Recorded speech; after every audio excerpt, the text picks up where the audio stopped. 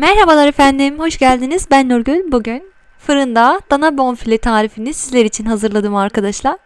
Müthiş lezzetli oluyor. Yumuşacık, içi sulu sulu tam kıvamında bir e, et yemek istiyorsanız bu tarifimi mutlaka denemenizi tavsiye ederim. Bu şekilde daha çok et tarifleri istiyorsanız arkadaşlar kanalımda e, et kategoriler bölümünden e, tariflerime ulaşabilirsiniz. Oldukça e, farklı menülerde et tariflerim vardır. Mutlaka bir göz atın derim. Ayrıca hala kanalıma abone değilseniz hemen şimdi kanalıma abone olarak zil sesini açarak beni takip edebilirsiniz. Paylaştığım videolarım sizlere bildirim olarak gelecektir. Bu sayede videolarımı kaçırmamış olursunuz. Daha fazla sizleri bekletmeden hemen tarifimizin yapılışına geçiyoruz.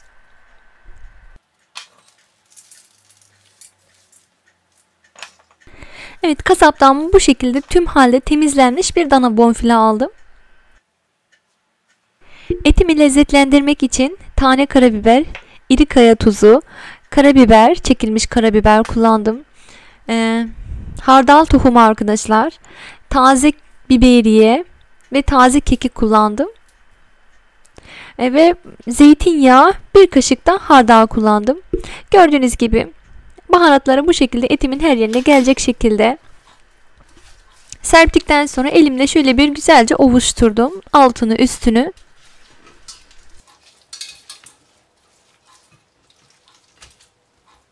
Baharatlarla filemi güzelce ovduktan sonra bir tatlı kaşığı gördüğünüz gibi hardalı Etimin her yerine gelecek şekilde güzelce sürdüm. Elimle ovdum. Bu şekilde bonfilemi pişirmek için hazırlamış oldum.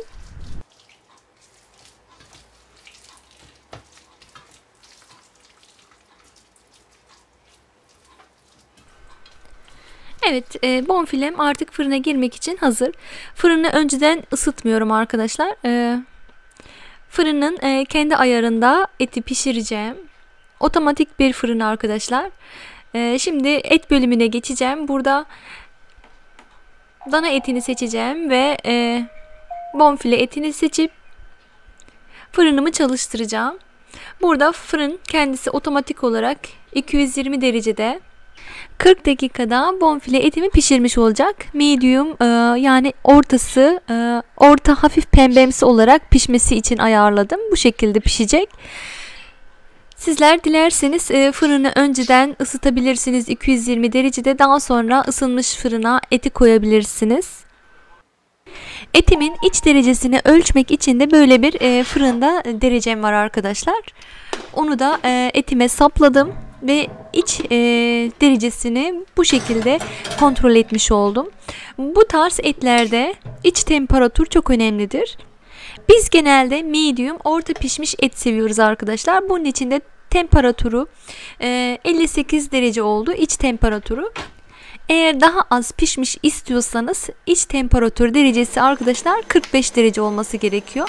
Eğer çok pişmiş istiyorsanız e, içinin pembe olmasını görmek istemiyorsanız 70-72 dereceye kadar çıkartmanız gerekmektedir. Evet e, şimdi e, etim pişerken bu esnada ben yanına e, kullanacağım salataları ve pilavı hazırladım.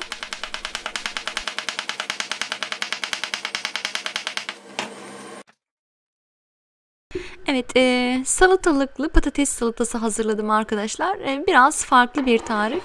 Salatalığı ince ince doğradıktan sonra taze soğan, bir küçük tutam dereotu ve maydanoz, patatesleri de büyükçe irice doğradıktan sonra yaklaşık 2-3 yemek kaşığı kadar sirke, tuz, bir e, çay kaşığından biraz daha az şeker, karabiber, zeytinyağı, bu şekilde lezzetlendirerek salatamı güzelce harmanladım. Daha sonra tekrar kontrol edebilirsiniz. Eğer e, biraz az geliyorsa tuzu ve e, şekeri biraz daha ilave yapabilirsiniz.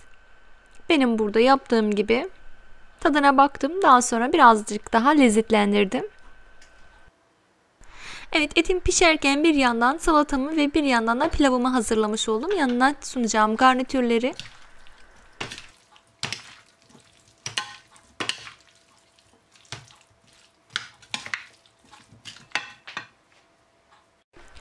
Evet e, yaklaşık 40 dakika sonra bonfile etim pişmiş oldu.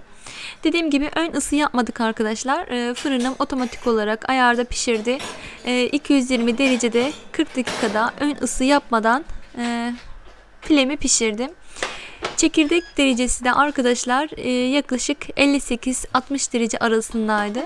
E, şimdi içini de keseceğim. E, sizlere göstereceğim. Hafif içi pembemsi. Biraz fırında bekletmiş oldum kapattıktan sonra pilavım demlenene kadar. E, bu da e, haliyle e, kendi suyunu çekmesine sebep oldu. Eğer pişer pişmez hemen çıkartıp e, biraz dinlendirmiş olsaydım e, daha da e, pembemsi olacaktı. Yani kendi sıcağında birazcık daha et kendisini çekmiş oldu. Evet bu şekilde ben menümü hazırladım. Pilavım, salatam ve etim. Şimdi keseceğim. İçini göstereceğim arkadaşlar size. O sosunu da tepsideki sosunu da kesinlikle atmıyoruz. Bunu yemeğimizin üzerinde daha sonra kullanacağız. Lezzet vereceğiz etimizi yerken.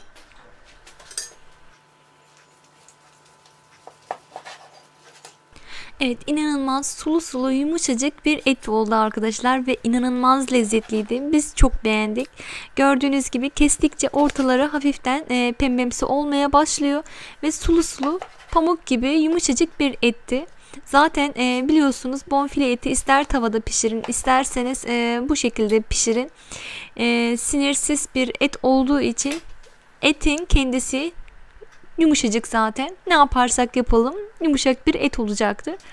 Gördüğünüz gibi sulu sulu oldu arkadaşlar.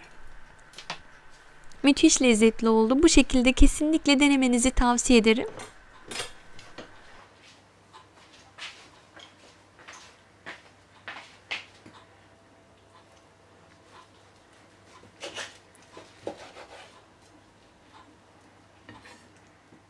İşte bu aradığım görüntü arkadaşlar. Pembemsi ve sulu sulu.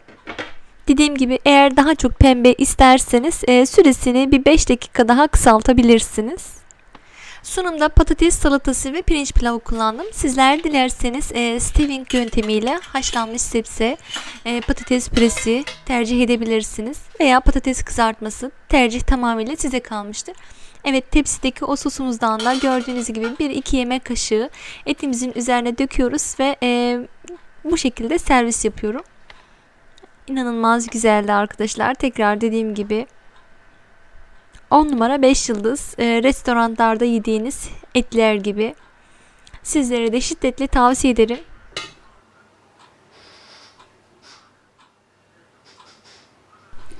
Evet bir yayınımızın sonuna geldik. Bugünlük bu kadardı. İzlediğiniz için hepinize teşekkür ediyorum. Kanalıma eğer hala abone değilseniz hemen kanalıma şimdi abone olarak zil sesini açarak beni yakından takip edebilirsiniz. Paylaştığım videolarımı kaçırmamış olursunuz. Evet bir başka yayında farklı tariflerde tekrardan görüşmek dileğiyle kendinize çok iyi bakın. Sevgiyle kalın. Hoşçakalın.